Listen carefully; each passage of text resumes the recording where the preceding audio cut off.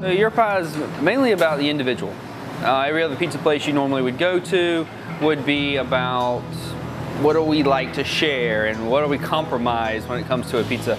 Uh, with us, it's one of those things where you're able to at least get exactly what you want on your pizza and whoever else is with you can get whatever they would like on their pizza and there's no compromising involved. Pizzas are made in front of you so you're able to see what's going on. You're able to see the ingredients as they're being put on that pizza. I want another pepperoni on that corner, you know, whatever the case may be. Our ovens are made in Bellingham, Washington.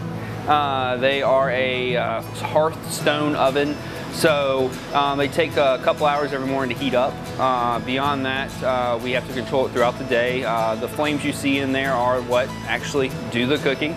There's no magic between it. Um, but that's kind of about how that whole thing works. There's a rotational process. There's a whole training program that everyone has to go through because it is fire, it can burn you. But we do like to use the togetherness of craft beer, craft pizza. We want to make sure that we can give you those local beers, those things that you've never ever seen before, regional, national, all those kind of things. We want to give you as many reasons to stop in the door and come back, and more so bring you back every again and again. So gelato is made with uh, milk instead of uh, heavy cream, so it kind of gives it a little more richer, sweeter flavor to uh, to it. Uh, it's pretty cool. We do uh, every 10, 12 weeks or so, we do a craft series where we come out with a new beer.